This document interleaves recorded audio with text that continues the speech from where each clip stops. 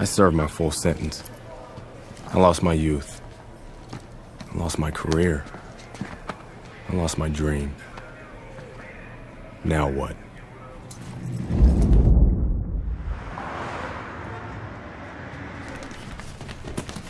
Baby brother got me a job as an assistant trainer. Listen for the bell, man. Relax. Potter boy.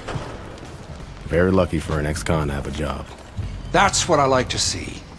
A brother taking care of his brother. Andre, welcome back. Hey, Mr. McQueen. Raymond? Andre, you remember Mr. Franco. Andre. Mr. Franco has retired from the force. Works for me now. Must be a big change for you.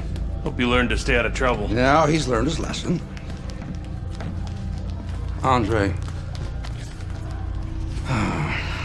I'm sorry the way things worked out for you. But I've been taking good care of Raymond while you were away. We can't afford distractions. I hope we can count on you to help your brother.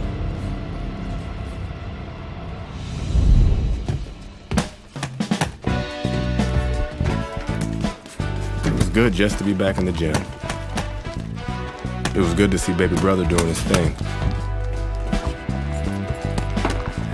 Was good to be back in the gym.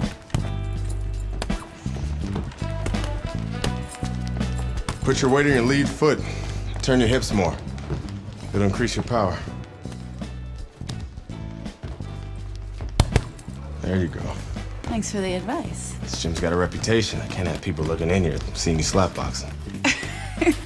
Jokes, huh? Nice. I was starting to think you didn't like me.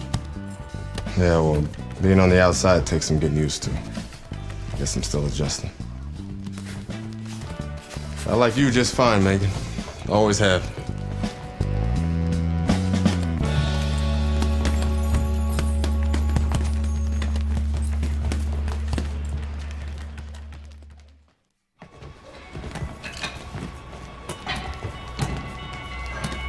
I never liked Mason Brooks.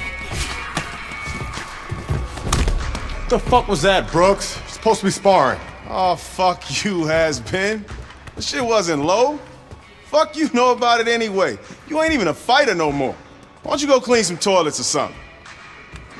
Whatever. Yeah, that's right, bitch. Go clean them toilets.